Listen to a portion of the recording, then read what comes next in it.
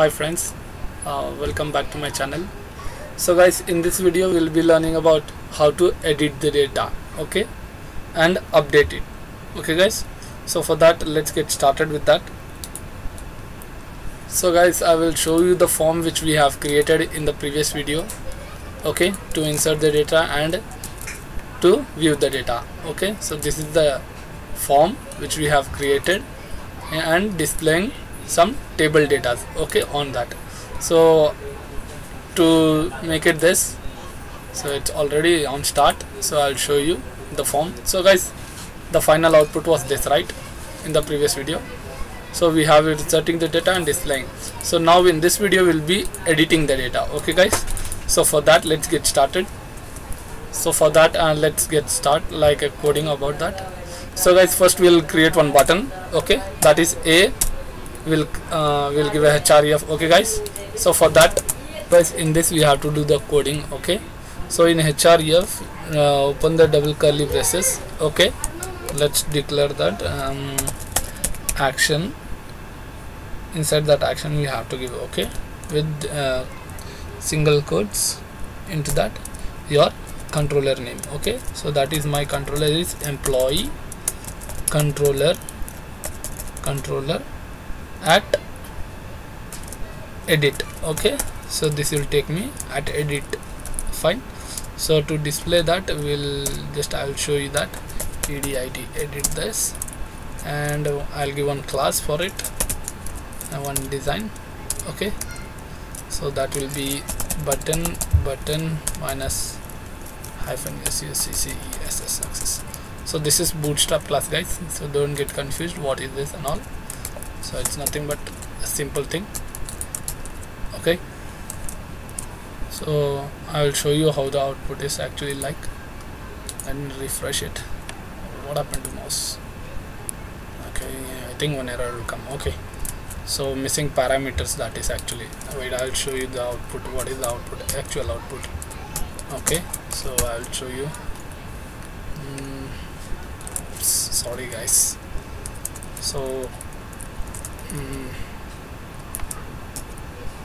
what I will do is that. I'll take take it out. This and show you. Okay so oops edit button is going somewhere else. Okay so we have to put it here right? So put that in the td tag. Okay so just so just cut this just cut and put it into td tag. Okay? Just place it inside td tag and see the output. Now mm, what happened to this? Okay. Uh, it's actually I think did not get refreshed. Mm, come on yeah. So our button is ready now so now if we click on edit it should go to the this value should be go by its id and update it there. So let's get started with that. Let's get back and code with that. So two curly braces. Inside that you have to give action into round brackets with single quotes that is employee controller at edit. And we have to declare it's by id so we'll give one variable. So that is emp i will give. Emp yes i will give which i follow that. Okay so inside this now we have to declare the id okay the id is declared. So after declaring it should go to if you click on the edit button if you click on this edit button it should go to its controller. Okay? I'm clicking on the edit button controller to edit. Okay? So let's go to app folder https inside that controller and search for the employee controller which you have created. Okay? I'll close this. So this was the form and we'll come to edit. Okay? We are at the edit place now so now here you have to declare a variable okay? So for that one variable you should declare. Um, we will declare dollar emps itself that is your employee mod so this is your employee model or a table name which you sell tell and find it by its dollar id okay? Which you have declared in the blade dot file okay?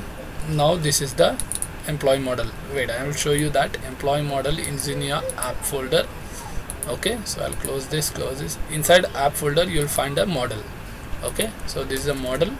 So in this employee model you are using table and its contents. So it will take it over here where your controller is.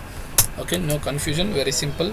And we will return the view. Okay what happened yeah so return view to your page. Okay so emp folder. This is your folder. Emp folder i'll show you where it is. Okay so in resource file inside views i have created one folder right? So inside folder uh, there is one file. So now we'll create one employee employee uh, edit file okay? Employee emp edit file page I will give okay?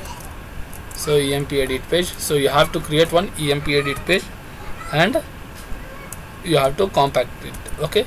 So the value gets to it.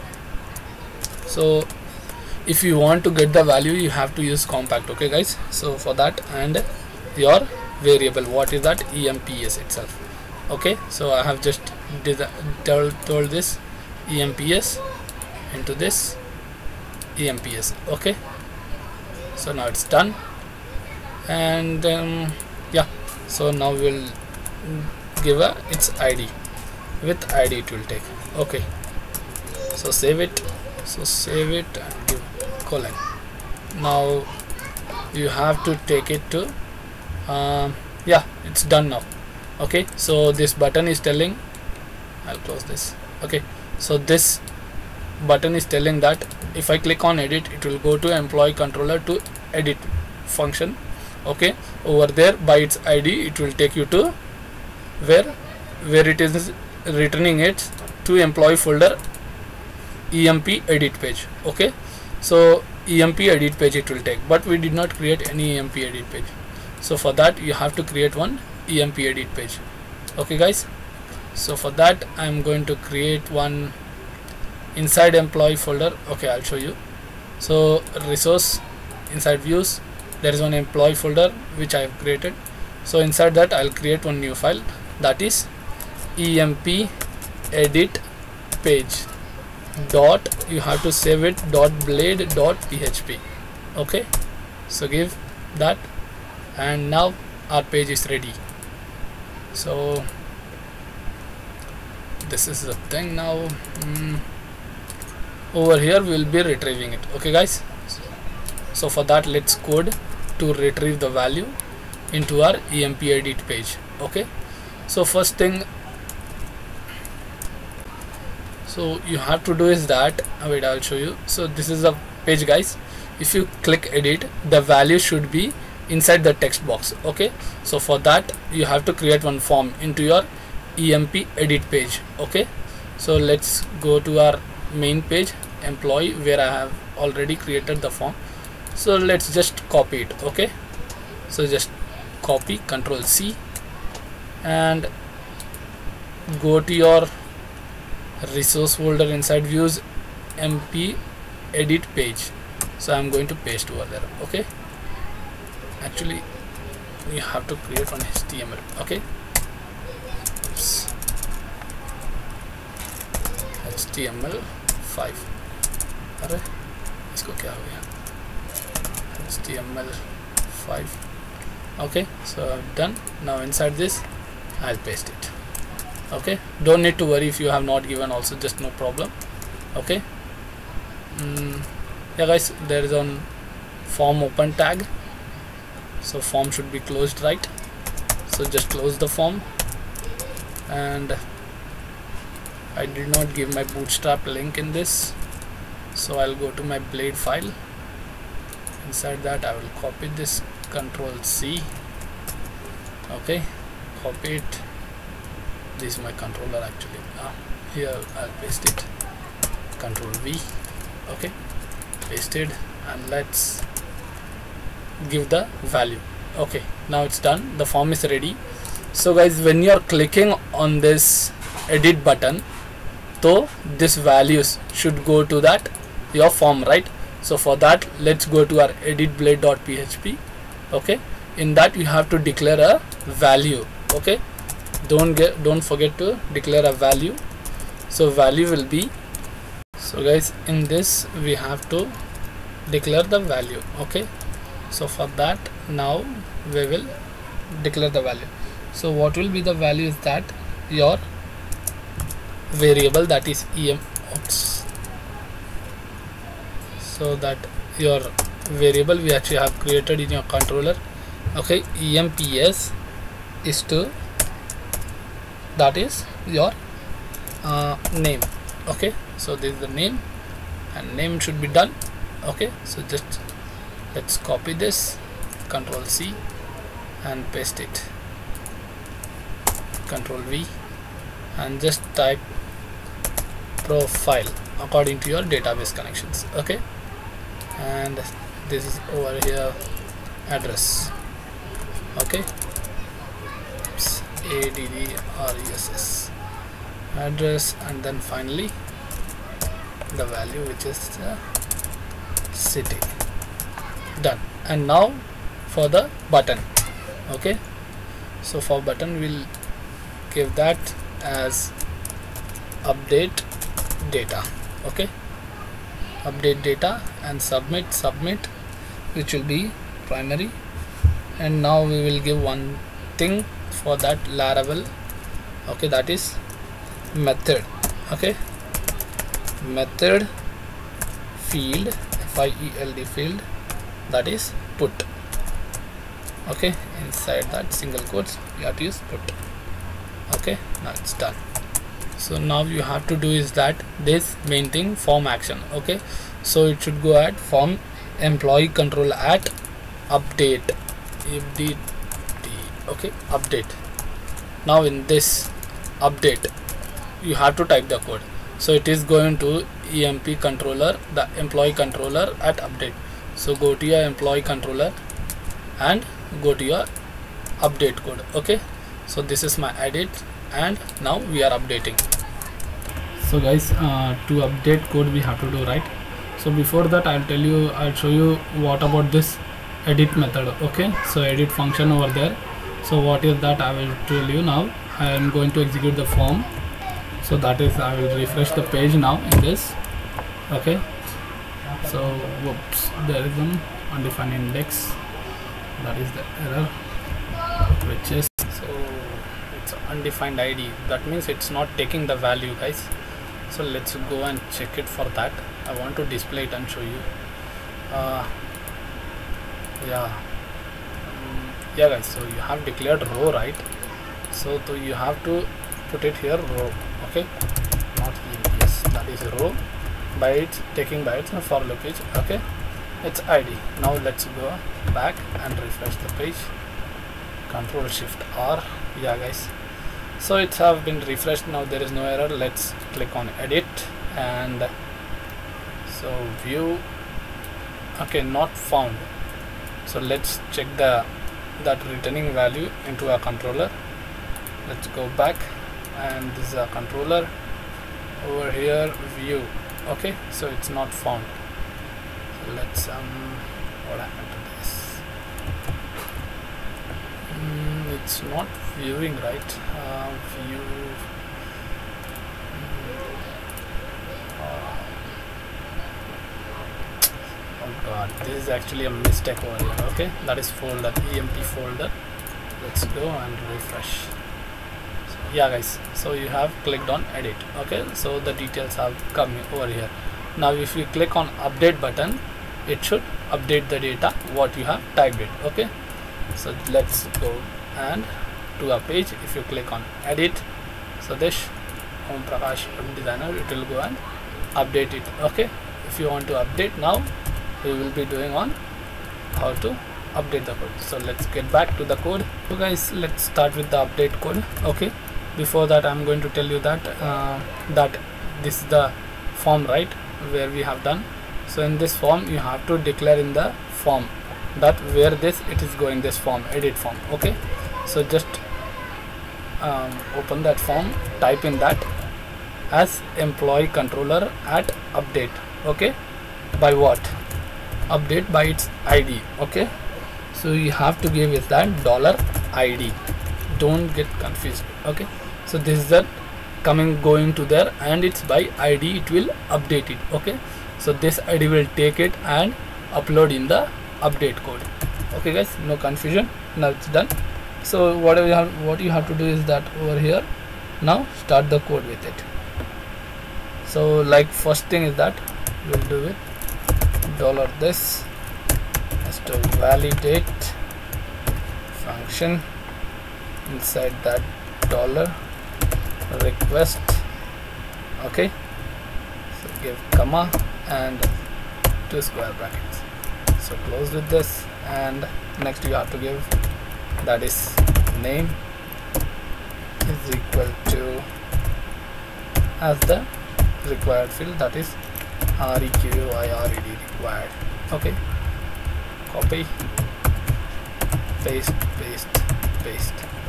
So that is over here profile and address and city. Okay? Done. And now you have to declare that. Okay? So for that let me close this. And dollar even not even sorry. Emps that is my employee and this is my employee model. From employee model i'm getting my table field find by its id that is dollar id which i have declared in the editblade.php okay now through this we have to store the data into that database. Okay now we will do with that.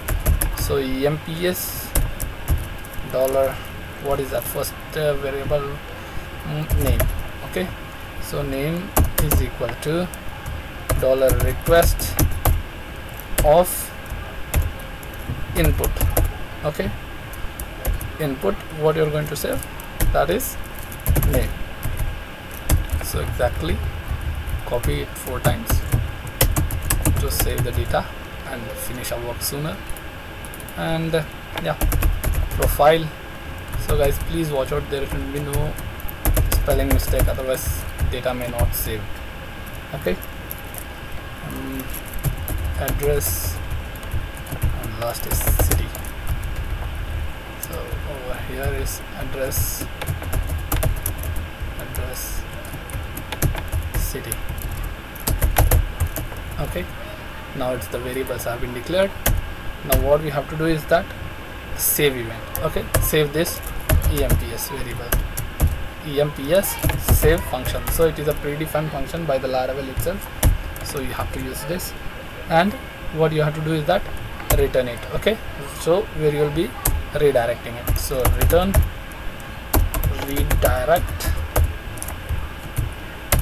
re redirect method with your message.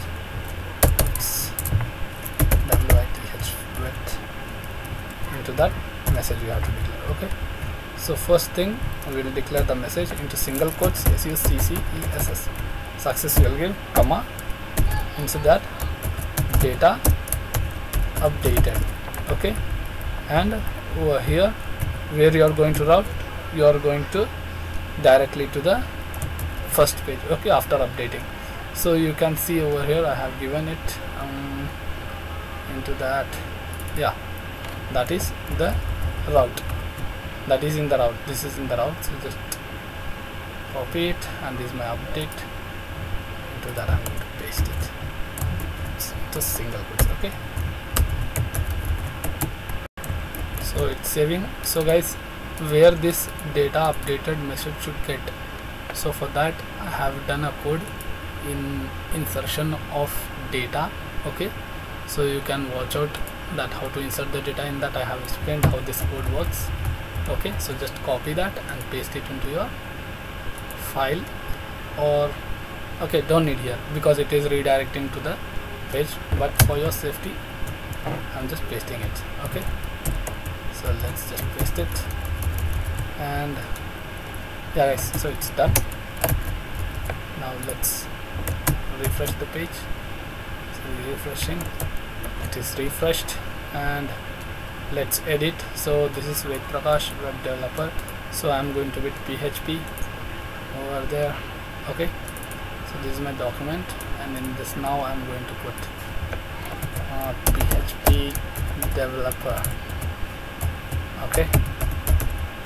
Developer and let it be update. So it's getting updated data updated. You have got the message okay? So we don't need that. So you can see here PHP developer. Boom so saw the magic guys. Now like here it is Om Prakash web designer. So I'm going to change that edit and do it Om Prakash as Mohan N and he's uh, he's uh, what happened? Sorry guys. And he is a web player. Okay. Data updated. Yep data updated you have got the message and data is updated. Okay guys so in this video that's it. And uh, I actually wanted to design this so let's do that. So nothing I'm going to do just uh, we don't require this. Okay just remove it off so we are using container container inside that I'm using jumbotron okay that's it. So just copy all these codes okay. Your full form. Okay. Your form should be copied. Control X. And inside this I'm going to paste it. Okay. So paste it and let's refresh it and let's check out. It's not loading. Okay guys uh, data is updating right? So I'll see to that over there okay guys thank you for watching this video and uh, please subscribe my channel like the video share the video and uh, please share it to your friends. And in this video that's it guys. So we have learned about data updating. Okay? Thank you once again